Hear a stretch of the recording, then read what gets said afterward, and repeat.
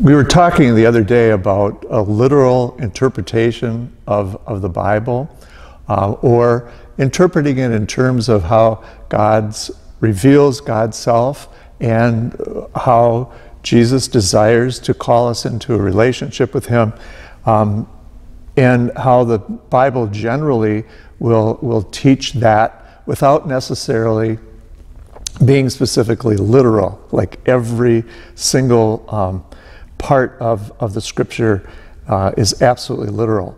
And, and actually, we could go to uh, chapter 5 of Matthew's gospel and show how people actually don't take the Bible literally.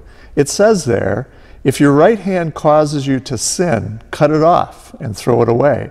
It is better for you to lose one of your members than to have your whole body go into Gehenna. If your right eye causes you to sin, tear it out and throw it away. It is better for you to lose one of your members than to have your whole body thrown into Gehenna. We do sin. I don't see a whole lot of people walking around plucking their eyes out or, or uh, cutting their, their arm off because they have sinned. So we don't take that literally because we recognize that, that Jesus in this gospel is using exaggeration to drive home a point about the seriousness of sin. So sometimes fundamentalists will um, say to Catholics, Why do you call priests father? And uh, they say, quoting from Matthew chapter 23, where it says, um, As for you, do not be called rabbi. You have but one teacher, and you are all brothers. Call no one on earth your father, for you have but, you have but one Father in heaven. Do not be called master. You have but one master, the Messiah.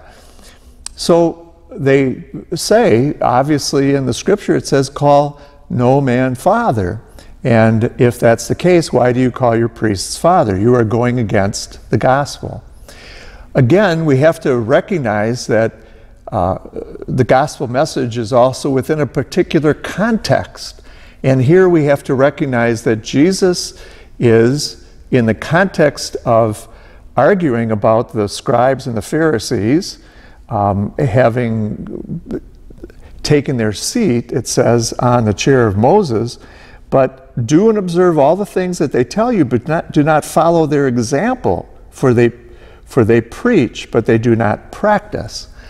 One of the things that the Pharisees and scribes would do is they would build themselves up at the expense of other people. That's the context in which Jesus is speaking about master and rabbi and, and father. In other words, they can use those titles to help to raise themselves up at the expense of others. And that's what Jesus is arguing against, them using those titles in that particular way. In fact, if we were to take that literally, then we would have to say that there's got to be a problem with Paul, because Paul in chapter 4, verses uh, 15, 14 through 17, refers to himself as a father, a spiritual father. He says, I am writing you this not to shame you, but to admonish you as my beloved children. Even if you should have countless guides to Christ, yet you do not have many fathers. For I became your father in Christ Jesus through the gospel. Here he claims that word for himself to speak of how he is a spiritual guide, a spiritual father for um, his children, the Corinthians. So it would seem if you took this gospel literally, then even St. Paul is going against the gospel. And that's part of the difficulty, too, in taking out certain passages from the scripture without looking at the scriptures in their entirety. And sometimes we can pick and choose certain verses to help support an argument that we're trying to make when in fact that argument would fall if we were to quote another passage from Scripture.